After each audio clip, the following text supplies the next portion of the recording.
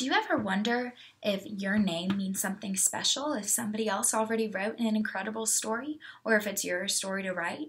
Well, this little girl named Alma really was wondering about her name as well in the book that we're going to talk about today. So, we're going to be talking about the book Alma and how she got her name. Sorry for the glare.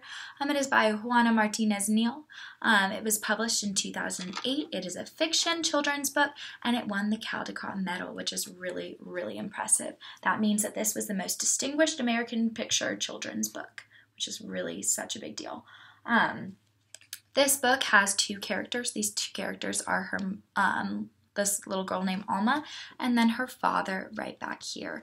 Um, and so the problem in this book is that Alma has a longer name than most of the kids in her class. She's starting to notice this, um, wondering what this means for her identity. She's very, very curious about it. Um, so that was the, kind of the problem, the conflict, and her dad's incredible solution is to sit her down and tell her the name, the story of her name, which is incredible. Um, so the setting of this book is their living room. They're kind of sitting down just chatting with each other.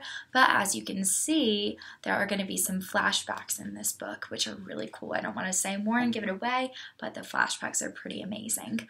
Um, so what is her name, you might be wondering, because Alma doesn't seem super long. Well, here's her name right here, and her name is Alma Sofia Esperanza Jose Pura Candela. So that's a really beautiful name.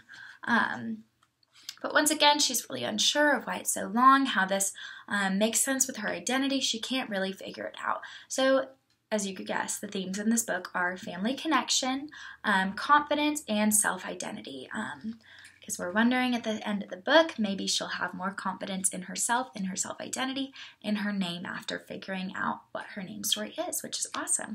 So, a really cool thing to do with your students um, is to make a name poster as well. So, I made a little example of my name poster right here. You're going to make sure to make your students' pronouns correct. Um, for mine, it's how she got her name, but it could be different for another student. But basically, you're going to put their names down.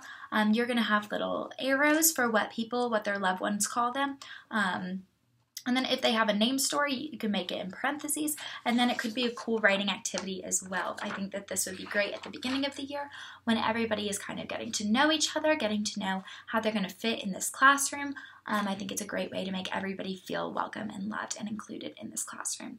So how did you get your name? Does it have a story or is it your story to write? Um, check out the link below for my um, graduate student blog. Um, it has a bunch of amazing, culturally diverse and authentic um, children's books that you should really check out. And as well, I also have a link in the resources that you should check out.